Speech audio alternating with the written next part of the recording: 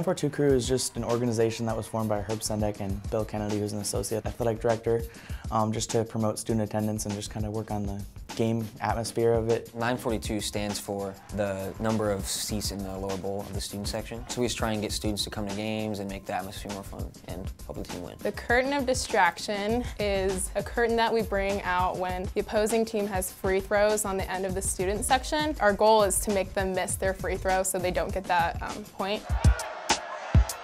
Usually when the referee's passing the ball to the opposing player, that's when we open the curtain. Whoever the act is or whatever happens kind of pops out and we try and make noise, trying to get them point everywhere to where what's actually happening. And a lot of times the it doesn't look like the opposing free throw shooter is actually looking at us, but he, I mean, you can usually see it out of the corner of your eye. We do a lot with the unicorn head, and there's going to be like rainbows. We're going to have some synchronized swimming today, and we um, actually got some swim caps from the swim team, so we'll have matching swim caps, which is funny. So far this year, the fans have loved it. You know, they find a lot of it hilarious. So you know, they're they're not only watching the game, but they're also watching us and wondering what we're going to do. It's kind of funny because sometimes they're like, "Oh, I hope we get a foul," because I want to see what 942 crew has with the curtain of distraction. Jordan Bachynski and Jared Upchurch have tweeted about the curtain and just how good it's been and how it's worked so far, and a lot of them enjoy it. With the curtain of distraction, we've seen a decrease in the percent of shots that the opposing team has made on our side from um, about 75% down to the low 50%.